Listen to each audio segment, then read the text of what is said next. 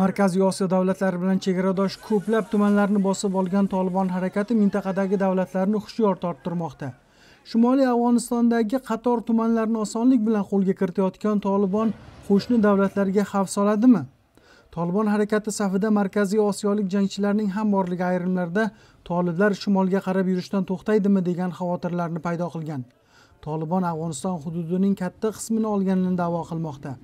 Yaqinda tolibon hay'ati rossiyaga tashrif buyurdi. Rossiya rasmiylari harakat rahbariyatidan markaziy osiyo davlatlari chegarasini buzmaslikka oid va'da olganini aytdi. Hududimiz boshqa hech qachon uchinchi kuchlar tomonidan foydalanmasligini kafolatlaymiz. Ishid boshqa hech qachon afg'oniston hududida harakat qilmasligiga kafolat berishni xohlaymiz afg'onistondagi barcha taraflar etnik kelib chiqishi va ko'lamidan qat'iy nazar afg'oniston davlat qurilishida ishtirok etishini istaymiz. Islomiy qonun doirasida boshqaramiz. Tolibon hay'ati shuningdek bosib olingan hududlarda maktab va boshqa idoralar oldingidek ishlashda davom etayotganini bildirgan.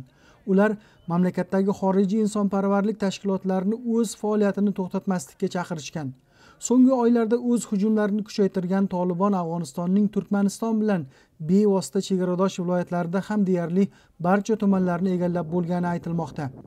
O'tgan hafta so'ngida kollektiv xavfsizlik shartnomasi tashkiloti birlashgan shtabi boshlig'i tolibon afg'onistonning tojikiston bilan chegarasini qariyb butunlay egallab bo'lganini bildirgandi. Afg'onistonning o'zbekiston bilan chegarasida muhim chegara o'tish nuqtasi hayrotonga ham tolibon hujumlar qilgan lekin afg'on hukumat kuchlari ularni qaytargani aytiladi. Tojikiston rasmiylari tolibon tomonidan tahdid yo'q bo'lsada qo'shinlar doim yuqori tayyorgarlik holatida ekanligini ma'lum qilgan. Mamlakat so'nggi haftalarda mingdan ortiq afg'onistonlik harbiy va davlat xizmatchilari hamda ularning oilalariga vaqtincha boshpana bergan.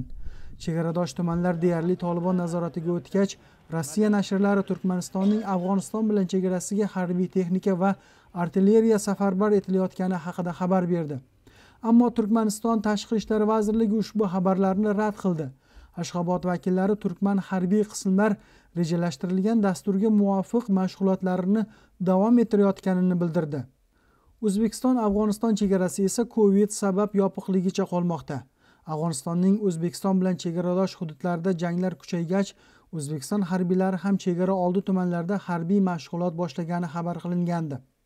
O'zbekistonda jamoatchilik orasida tolibonning faollashgani borasida xavotirlar yangrayotgan bir vaqtda o'zbekiston tashqi ishlar vaziri tolibonni terroristik tashkilot deb bilmasligini aytib chiqdi. Vazir abdulaziz komilovning amerikalik jurnalistga bergan suhbatidan o'zbekiston tolibon hukumat tepasiga kelsa hamkorlik qilishga tayyor degan mujdani o'qish mumkin edi. Tolibon harakati rahbarlari bundan oldin ham o'z hududlaridan turib markaziy osiyoning boshqa davlatlari jumladan o'zbekistonga hujum uyushtirilishiga yo'l qo'ymasligini ta'kidlagan.